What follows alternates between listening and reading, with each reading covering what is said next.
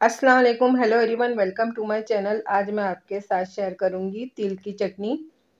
तो बहुत ही टेस्टी चटनी है ये और बहुत जल्दी बन जाएँगी। इसके लिए कुछ ज़्यादा सामग्री सामग्री नहीं लगेंगी हमको। तो चलिए फटाफट से स्टार्ट कर लेते हैं। तो ये देखिए, मैंने तिल ले लिए है। ये मैंने सौ ग्राम तिल से बनाई थी। ये देखिए, ये थोड़ी मैंने अच्छी क्वालिटी की ली थी और थोड़े लहसुन लिए है, दस से बारह, और खोपरा लिया है और ये कश्मीरी लाल मिर्च ली है। कश्मीरी लाल मिर्च से इसका कलर अच्छा आएगा इसलिए और ये सूखा वाला नारियल है, इसको मैंने ग्रेट कर लिया था। और तिल, आप अगर कोई क्वालिटी और क्वालिटी की ले रहे हो तो उसमें थोड़े कंकर रहते तो उसको साफ़ करके ही लेना। ऐसे मत ले लीजिएगा, पहले उसको अच्छे से साफ़ करना, नहीं तो उसमें छोटे छोटे कंकर रहते हैं। तो मैंने कढ़ाई गरम करने के लिए रख ली है और उसमें हम तिल को भून लेंगे। हल्का ही हल्का हल्का ही भूनना है। यानी कि स्लो गैस पे भूनना। अगर फुल गैस पे भूनोगे तो ये जल जाएगी और थोड़ी कड़वी लगेगी।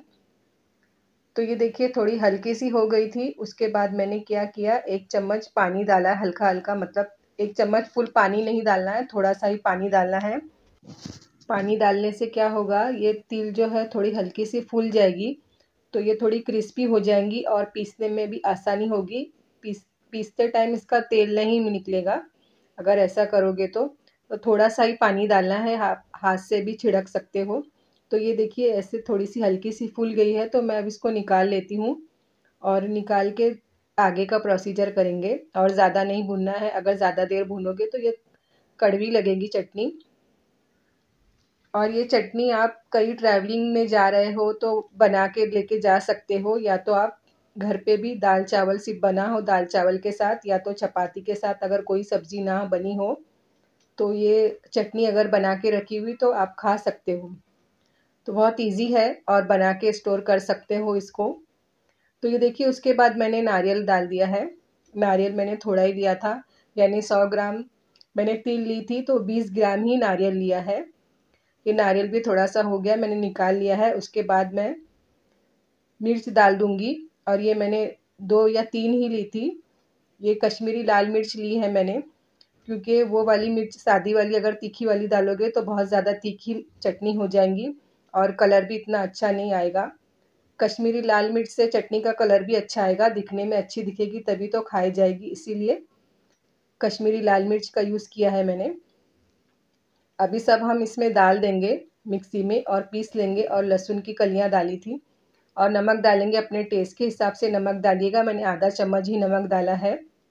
तो रेसिपी अच्छी लगे तो लाइक कीजिए अपने दोस्तों और रिश्तेदारों के साथ, ज़्यादा से ज़्यादा शेयर कीजिए। मेरे चैनल पे नए हैं तो सब्सक्राइब ज़रूर कीजिएगा। और साइड में जो घंटी का बेल आइकन है, उसको ज़रूर क्लिक कीजिएगा, ताकि मेरी वीडियो की नोटिफिकेशन आपको सबसे पहले मिल सके। तो ये सब डालने के बाद थोड़ा सा नमक नमक डाला है मैंने। और नमक डाल के फिर मिक्सी चला ली है। और ऑन ऑफ़ मोड पे ही चलाना, यानी बंद थोड़ा चलाने के बाद बंद करना, फिर चालू करना, मिक्सी कंटिन्यू मत चलाना, नहीं तो तिल थोड़ा सा ऑयल छोड़ देती है। तो वैसा हो जाएगा तो पीसे नहीं जाएगी। तो मुझे थोड़ा तीखा चाहिए था, इसीलिए मैंने जो लाल मिर्च पाउडर आता है, तीखा वाला वो डाला है। अगर आपको ज़्यादा तीखा ना पसंद हो तो आप मत डालिएगा। और फिर मैंने मिक्सी चला ली है। तो याद रखिएगा ऑन ऑफ़ मोड पे ही चलाना है इसको। इसमें से थोड़ा तेल निकल जाएगा तो फिर ये बराबर पीसे नहीं जाती है। तो देखिए, ये हो गया है पीस के। अब मैं इसको निकाल लूँगी डिश आउट कर लूँगी। तो कैसे लगी रेसिपी कमेंट बॉक्स में मुझे ज़रूर बताइएगा। और भी अच्छी अच्छी रेसिपी के लिए अगर मेरे चैनल को नहीं सब्सक्राइब किया तो जल्दी से सब्सक्राइब कर लो। मैं आपसे मिलती हूँ न्यू रेसिपी के साथ। तब तक के लिए अल्लाह हाफिज़। Thanks for watching keep supporting